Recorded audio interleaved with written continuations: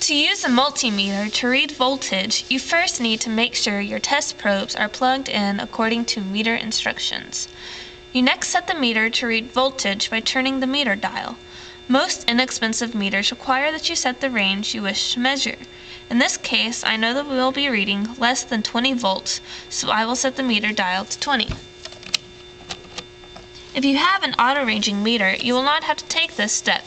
If you are not sure of the range that you need to use, then use the next highest range. You can always go to the lower range, but you risk damaging your meter if you try to read a voltage greater than the range you have selected. Next, take your test probes and touch them to the leads where you wish to measure voltage. In this example, I am touching the leads of a double A battery holder. The reading is 3.12 volts. If I touch the leads backwards, then we would be reading a negative voltage. You can measure the voltage of an operating unit simply by touching the probes to the leads while the device is in operation.